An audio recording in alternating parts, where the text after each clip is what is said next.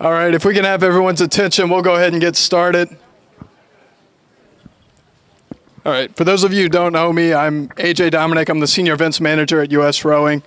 Uh, just want to start off thanking you all for coming and racing this week. Uh, again, another record year of entries. It's exciting to see the growth at this event and in the sport in general. So, uh, thank you all for, for being here and for racing this summer. Uh, to get started, I want to recognize all the various groups of people that come together to put this race on this year, um, starting with Cooper River, the Camden County Board of Freeholders, uh, the Camden County Boathouse, South Jersey Rowing Club, and all their volunteers. Uh, they do a lot of hard work to make sure the, the venue is set up for you guys, so let's give them a, a quick round of applause.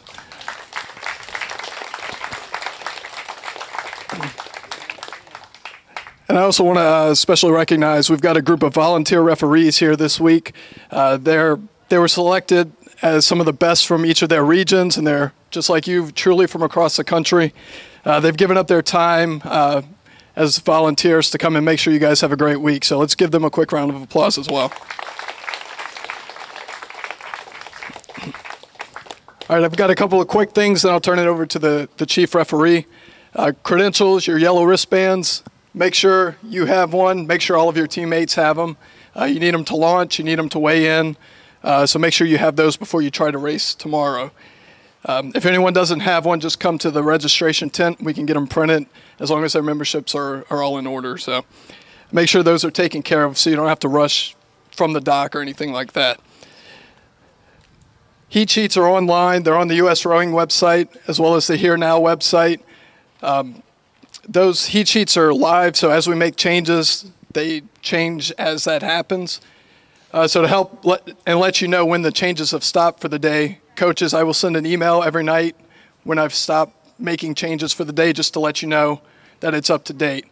Um, tonight, that won't go out until after the 9 o'clock lineup deadline, uh, but every other night, you will get it before 9 o'clock. So just to let you know around when to expect that. Um, that's your clue to let you know all the changes from registration are in for the day.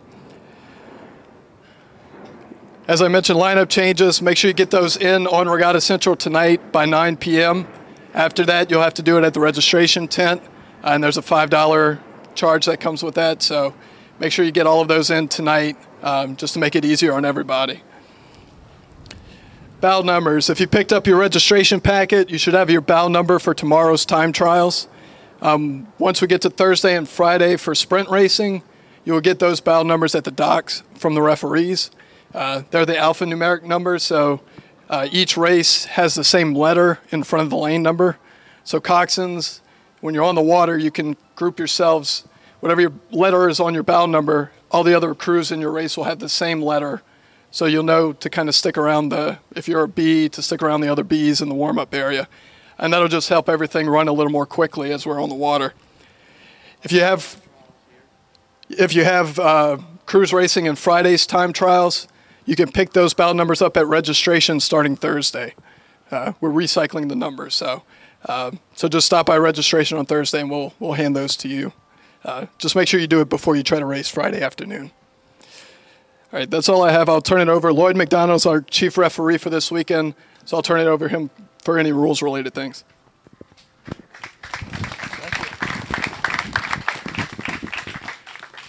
All right, good afternoon, everybody. As uh, AJ said, my name is Lloyd McDonald. I'm from Stillwater, Minnesota.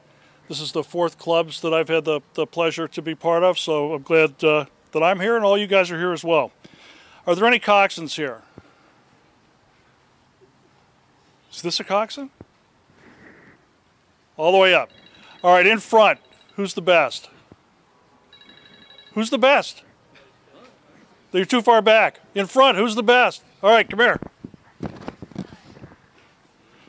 Okay, your job is to follow along and make sure I cover everything. Okay? So if I miss something, you bring it you bring it to my attention. Okay, as AJ mentioned, this is a U.S. rowing uh, registered and owned regatta. Uh, what that means is that we will be conducting uh, the regatta uh, to the rules. Those are our rules uh, for rowing in the United States. We have uh, 33 referees from across the United States. They're kind of scattered in the uh, audience out there, so guys, stick your hands up. but they're literally from all four corners of the, of the United States. Ruth McNamara, who's hiding back here, is the, the deputy. She and I will be uh, the ones you're most likely to run into if you're in the finish area uh, or you have a question. So I will look like this the entire week. And Ruth uh, will be dressed like this. So please, if you have a question, ask it. We want, uh, we want to make sure everybody gets, uh, gets the information they need.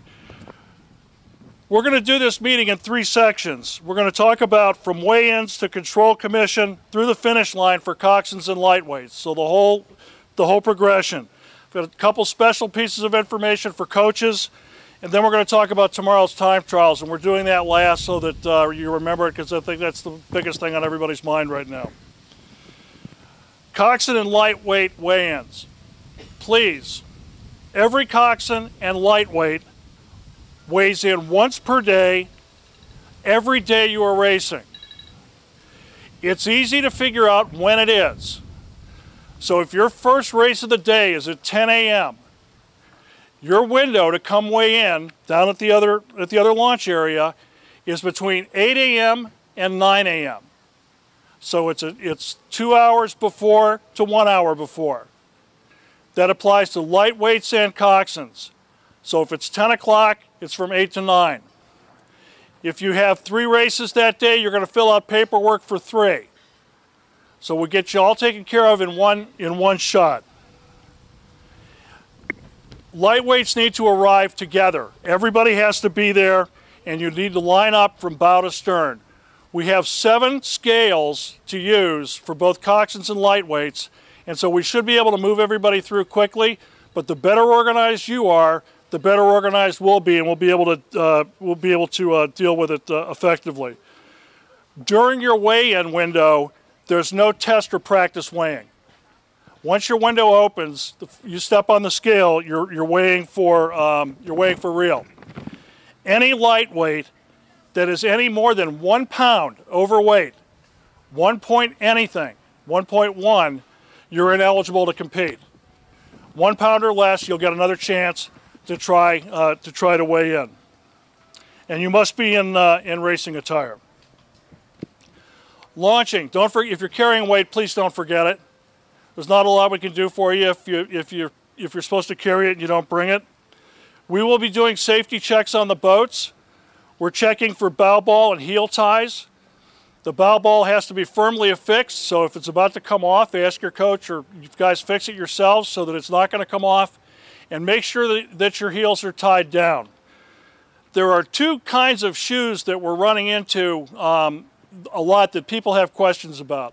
The Shimano shoes are fine. They're not an issue at all. You twist your foot, they come right off. They're, they're perfectly fine. There's a new shoe out there, and I think it's called Project B, that I know, uh, I think the Penn AC boats have, uh, have those shoes. They have to be tied down. If they are not tied down, you will not be permitted to, uh, uh, to launch. And every pair of them that I've seen yesterday and today has not had any strings on it at all. So guys, please make sure that those are, uh, those are corrected. You're not in conformance, you can't uh, launch. Okay, so you're going to launch from one of three places, down at Cuthbert, behind the restaurant, or at the boathouse. You progress along the shoreline. Stay away from the course, okay? You will go around a, a, a narrowing at about 250 meters from the start, and that will bring you into the warm-up area. For sprint racing, you can warm up there in a counterclockwise pattern, so from shore out to shore out, uh, ahead of your race. We'll talk about time trials uh, specifically in a second. But be, you know, show the other athletes courtesy when a race is going by. You should stop rowing, and uh, don't get too close uh, to the uh, to the course. So pay attention to the marshals. They're up there to really make this as easy a process as you can. So you're going to be collected at the top of the cove on the side of the course and invited to enter. And you're going to be asked to go on the course high numbers first. So six to one. That's because six is the farthest lane away. When you go across, don't go more than one boat length away from the platform. Get in your lane, turn, and back in. The farther you have to back, the harder it is. So do yourself a favor and get in, uh, get in close. if we get a crosswind, you're going to have to scull your bow in order to keep your point. If you don't know how to do that, talk to your coach. But we can't have you rowing, having bow or two seat row to get your point. You'll pull off the stake boat, and uh, that's not, uh, uh, not a good situation. It's your responsibility to be locked on and ready to race not later than two minutes before scheduled race time. And your boat must be fit for racing. So any issues you had, anything needs to be tightened or whatever, needs to get done before you back in. Uh, if you're late, you can expect to be assessed a warning. Warning, a single warning is not a bad thing. If you get two of them, you're excluded from that race. And so you don't want to have that happen. So you're late and have a false start, your race is over.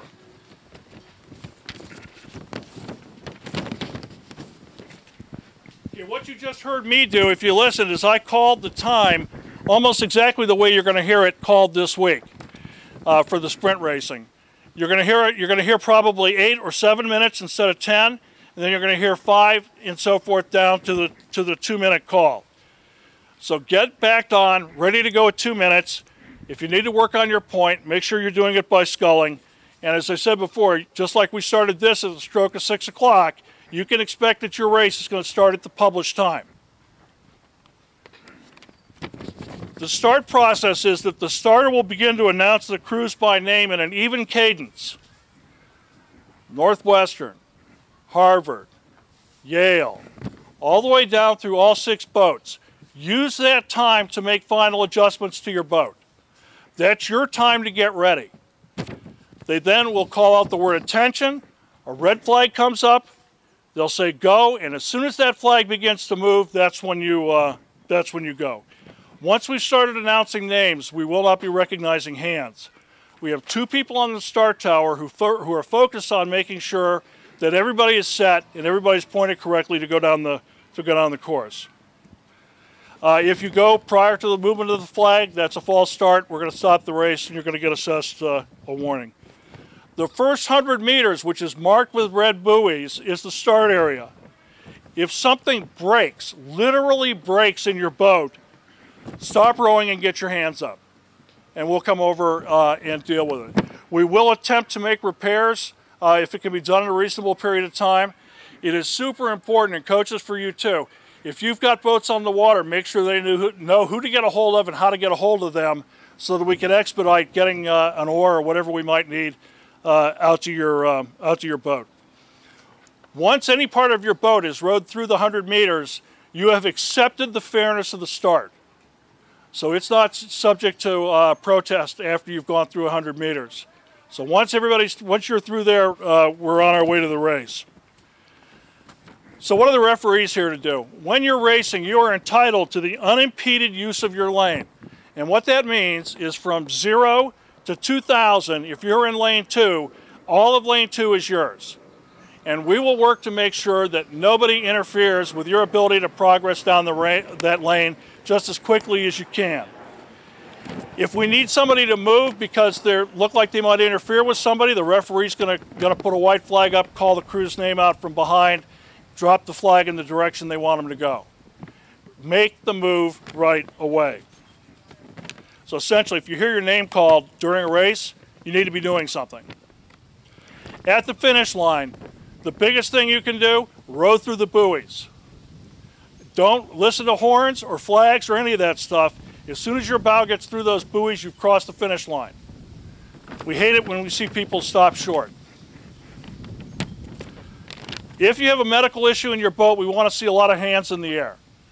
So no, uh, you know, let us know right away if there's a medical issue. We have uh, the referees are prepared to, to come in and help assist you on the water. And we have the EMTs here for everybody's information. The EMT is going to be in the Cuthbert parking lot near the dock that's designated for boat weighing. So it's the, it's the closest dock to here. Okay, what are the referees doing? At the end of the race, we're looking to make sure everybody's okay and to see whether or not anyone has an objection to the conduct of the race. This is important. If you have a question about the way in which your race was held, you need to get your hand in the air. And when you put your hand up, keep it up there until the referee comes over and, and talks to you. And they will talk to you, ask you what your objection is, and they will render a decision on the spot. You know, I think I was interfered with in the first 250. Referee looks at it and said, well, it really didn't seem that material, especially considering, you know, where you finished. So I don't agree that it's interference. They're going to ask you whether or not you accept that. If you accept it, the issue's over. It's your decision to make, not your coaches or anybody else. The athlete on the water makes the decision. If you accept it, it's over. If you don't accept it, then uh, then we're going to file. You're going to file a protest, which means you're going to write up what you what you want to have happen and why it happened in that race, and you're going to bring it to the ombudsman, who's going to be at the finish line. So right over in this area over here. Tell us. Make sure you tell us. I'm getting I'm getting hints from behind here. make sure you tell us what you want. Don't make us guess as to what resolution you're looking for. Okay, you have got to do that on the water. And so what the referees are going to do after they look and make sure everybody's okay, after they look for hands, they're going to raise a white flag and they're going to pan it across the water. They're going to show it to everybody. Then they're going to show it to the finish line. When that happens, that race is over. It's not subject to further review. So please, if you've got a question, ask it. Don't leave the water with a question. Okay, um, if you're if you're going to be checked, if your coxswain weight's going to be checked, the um, uh, finish marshal is going to ask you to show your weight. So I just lift it up and show it to him. Um, boats from every event will be randomly selected to be weighed. And I, I hope many of you have been to the weigh-in tent down at the other end, the big long tent with the scales in it, to test weigh your boats. There is nothing worse on Friday than having somebody lose a medal because their boat's underweight. So please take the chances when you're out there to test weigh your boats. We will be opening the scales at 7 a.m. every day to make sure that everybody has an adequate time to do that. And we've been here since 2 o'clock yesterday uh, for that as well. So please, weigh your boats. Everything readily removable has got to be removed. Get all the clothing and shoes and stuff, whatever might be in it, water bottles out of it. If it's got if it's got um, ports, you got to open the ports and make sure there's nothing in them, and present the boat in, inside um, ready to be weighed. And the, the, referees that are there will meet you on the dock, and then they'll take you through the process. It's pretty. If you haven't done it, it's pretty straightforward. But I hope everybody has done it.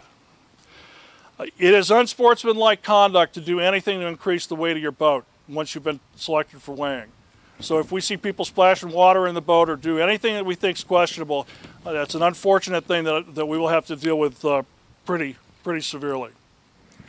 All right, we talked about boat weighing.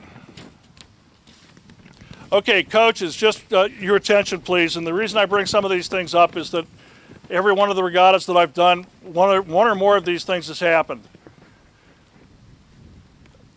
Line, please make sure your lineups are, accurate.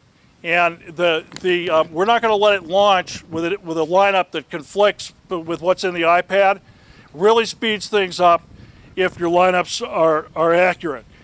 It goes without saying that using the time trial as an example, the people in that boat are then expected to be the same people in the semifinal unless there's a, a valid medical reason. So make sure you've got the same athletes going through because we will be checking. Any of you that are here for later in the week, the coaches and the athletes are responsible for making sure that everybody that's in that boat is in an event that is skill delineated is eligible to compete. So we, we can't check who won Henley or whatever it might be, or, or Canadian Henley to, to do that. It's your responsibility to make sure your athletes are eligible. Um, one things, so just to, to hope, I don't know that we'll get it out of the way or not, but I want to make sure that you understand the thing that the referees talk about the most, coaches, is how do we not wake crews? We are more sensitive sensitive to it than I think than I think you guys are, and we do everything we can to make sure that even if a crew's trailing, that they still get a good experience and don't get waked. However, as I started out when I talked about uh, the, the concept of you've got the unimpeded use of your lane, somebody has to be close enough to take action if something's going to happen. And that occasionally will cause one of the boats to move forward. And we will do what we can to make sure that nobody gets waked. Uh, we really don't want to do it any more than you want to see it uh, happen. Uh, the good news about the weather is this may be the hottest day of the week. We look at the weather constantly, and we will suspend racing only when it's a safety issue. And U.S. Rowing will be communicating with you directly about that. Uh, we take that very seriously. Uh, last year we did it preemptively and got people off in Cincinnati, I think within 15 minutes before the storm arrived. Uh, so we, we, uh, we, take it, we take it as a serious thing. And we will try to do what we can to either compress or make up time or whatever. But when we do it, we're doing it for safety and we need everybody to cooperate. Okay, we're at the end almost. Have I covered everything so far? So far. Okay, good. For the time trials, we are going to run a big head race tomorrow. And that's the way to think about it. Launching is going to be compressed. The weigh-in windows, are, there are not that many of them, fortunately. There are no lightweights in the time trials. But the weigh-ins are going to be a little bit compressed. So the better organized you are and the more ready you are to go, the less time you're going to spend standing holding your boat waiting to go down on the dock. We will do everything we can. I've got six people, three down there, two at the restaurant, and one at the boathouse, whose only job is to get the administrative stuff done as quickly as we can to get you on the water. But you've got to help by being ready and uh, prepared and ready to go. The thing that slows things up the worst is if the heel ties aren't done because we will be checking and if the heel ties aren't tied, that boat's not going on the water. Okay. So again, we'll work together and we'll get it done. So you'll be collected. You're gonna when you get down here to the narrow point, there's to be a, what I'm calling the greeting marshal. Say hello to them. They will greet you and direct you in. If you're if there's a time sensitive issue, they may tell you to go straight up right away, but listen to the instructions that you get from that marshal. As you're going out, you should be trying to put yourselves in bow number order. It is very important that we try to get you down in bow number order. It saves a lot of potential administrative issues uh, that, um, that we can really avoid if we've got you in order. So work with each other, know your number, look around, and help get yourselves in order. You will be brought in rows of about two or three boats, depending on what the wind's like. We're going to stack you up. The first bow numbers are going to be in front, next, and so forth to get you so in a position so that when you're going onto the course, you're going on and only making one 90 degree turn. You don't want to go towards, turn, turn. It's really inefficient. So we want to send you as straight across as we can into your lanes to get, um, so you only have to make one turn to get into position. If your bow number is an even number, you're going to be in lane three. If it's an odd number, you're going to be in lane five okay? You're going to get started. A boat is going to start every 20 seconds, which means you're 40 seconds behind, approximately 40 seconds behind the boat that went off in front of you. The guys that are behind you are 40 seconds behind you, okay? You're going to have 100 meters, plus or minus, to get into racing cadence and get moving when you go across the line. The line is at 100 meters. You're going to see the red buoys are going to stop because that's the start area. And uh, you're then, then you're on the course racing. So whatever speed you want to be at when you start your race, that's where you want to hit it, right on that, right on that spot. Yeah, no sounds, no nothing. Okay, you're just going to go. So when, it, when the red buoys stop, you're going to you, you may hear somebody say the word mark, but we're not going to we're not brossing a horn or amplifying anything. Yes, sir. The officials are the officials count the 20 seconds. So they're. Yeah, so no, so what we will do, there will be two people standing on on stake boats. The first person will help them get into their lane. The second person is, is actually between four and uh, three and five and we'll tell, you know, bow number three, begin. But, and that's your signal. That's, a, that's an excellent clarification. Thank you. Uh, they will tell you to begin. Please, when they tell you to begin, begin. And don't stop. As you're coming onto the course, don't stop. Stay close together. The closer together you are as we bring you in, the easier it goes, the faster it goes. We've got some 40, 50, 60 boat events out there. And uh, the, again, the more efficiently we do it, the better experience everybody has. Okay.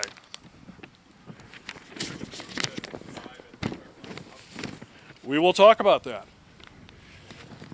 Okay, if um, if something breaks, so there's broken equipment in the head race as well, or in the time trial, excuse me.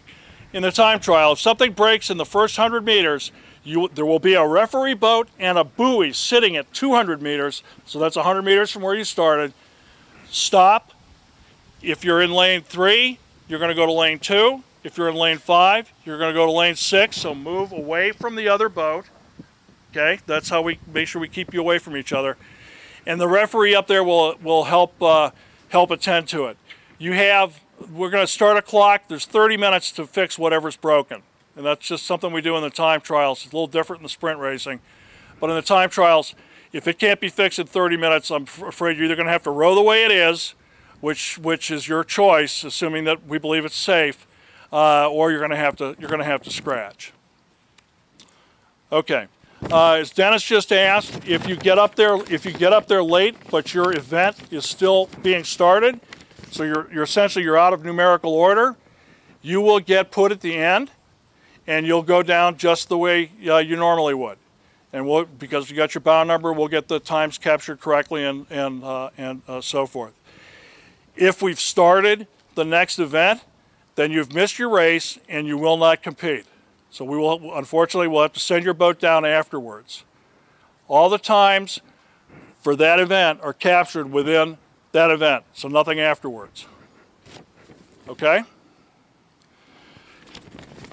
It's, um, it, it does happen that people get passed, and so coxswains work with your strokes that if a boat is coming within one length of you, You've got to move to the outside. Just like I said, three goes to two, five goes to six. You have to move to the outside and yield giving them their lane. We will have referees every 250 meters along the course. If you interfere with somebody and impede their progress, you're going to get excluded, which means uh, your time's not doesn't count. So, like any head racing, the best thing you can do is stay away from each other. Okay? Okay, same thing at the finish line. Finish marshal asks for uh, coxswain weights if you're carrying weight, and the um, uh, you'll be notified if you need to go over uh, and have your boat weighed. Did I cover everything? Drones. No drones. Okay. all right. All right. Thank you. Um, no, don't let it, nobody, no parents, no coach, no privately flown drones. We're flying them. U.S. Rowing's flying them uh, with professional pilots and, uh, and, and so forth. Okay, regatta time is whatever your cell phone says. Be happy to answer any questions. Yes? If both have been waiting tonight and they're racing tomorrow, can they be on the course to Wayman, or do I have to carry them down here? Because there's no practice in the morning, right? The, the scales will be open. You're going to have to get your, if you want to weigh it before racing tomorrow, you're going to have to either do it at practice tonight or in the morning. But you, there's no practice in the morning. Okay, so we have to carry them down. That's correct. Anything else? Again, back here, Lloyd. Yes. What if your coxswain can't pick the weight over the head? Then just have, uh, be, you know, be the coxswain and stroke or, you know, just look, point at it, look at it. Well, we know, we know how much weight's being carried. So if they, if if it's obvious they can't pick it up, we'll come take a quick look. Remember, and I, if I say this now, somebody's going to do it. We want the coxswain weight, not any weight you've added to the boat. Okay, so don't leave the weight that's added to the boat. Leave it alone. We just want to see the coxswain weight. Other questions? All right, well, we very much appreciate y'all being here. Thank you very much and have a great week.